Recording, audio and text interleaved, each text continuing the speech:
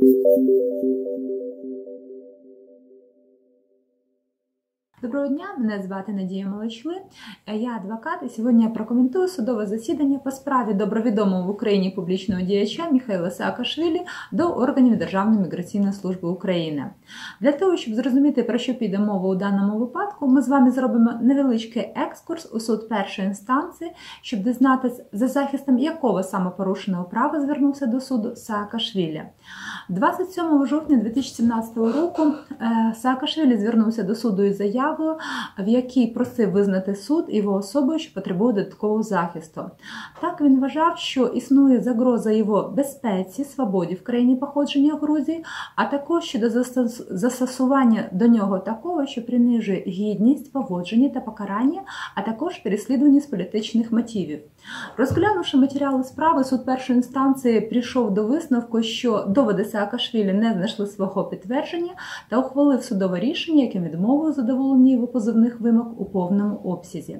Не погоджуючись з цим судовим рішенням, Саакашвілі подав скаргу, яка наразі розглядається апеляційним судом. У судове засідання в суд апеляційної інстанції з'явився, з'явився тільки представник органів Державної міграційної служби України. Позивач, тобто апелянт та його представники, в суд не з'явилися. Судом було перевірено, чи належним чином вони сповіщались про час та дату слухання по справі, та після з'ясування цього питання суд вирішив розглядати скаргу за відсутності цих осіб. Суд досліджує, чи належно повідомлення особи у справі, якщо не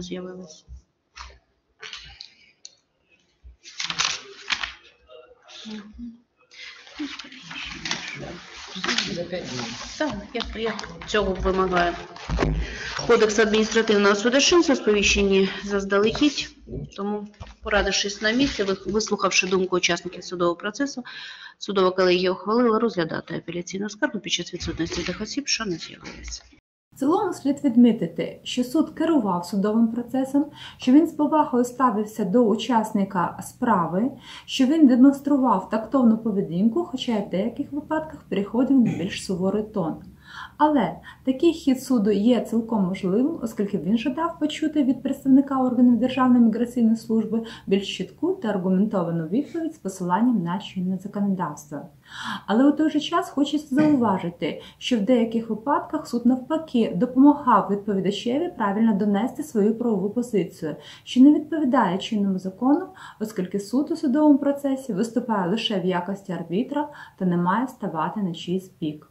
У підсумку за результатами скарги розгляду скарги Саакашвілі апеляційний суд її відхилив, тобто не задовольнив, а рішення суду першої інстанції залишив без змін. Постанова іменем України вступна резолютивна частина 20 лютого 2018 року. Київський апеляційний адміністративний суд у складі головуючого судді Епіль, суддів Карпушова і Кабаля за участю секретаря лісних.